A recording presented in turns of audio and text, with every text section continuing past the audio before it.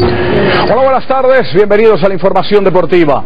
A tres días del inicio del torneo colombiano, Nacional confirmó nuevas contrataciones a los delanteros John Pajoy, Jefferson Duque, Fernando Uribe, ahora se suma también la de Félix Vicolta, quien eh, eh, casualmente llega procedente del Deportivo Cali, es el primer rival para esta temporada.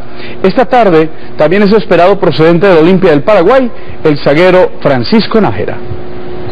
Félix Micolta por fin es jugador del Atlético Nacional. El nariñense de 22 años llegó a un acuerdo con el Cali, donde tenía contrato hasta diciembre y los derechos deportivos que eran del mismo jugador ahora son del Verde Paisa.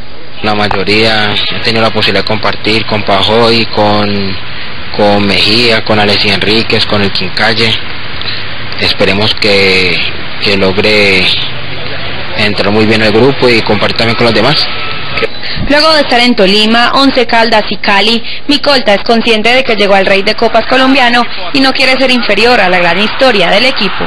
Campeón, hacer historia, creo que todo depende de uno, ¿no?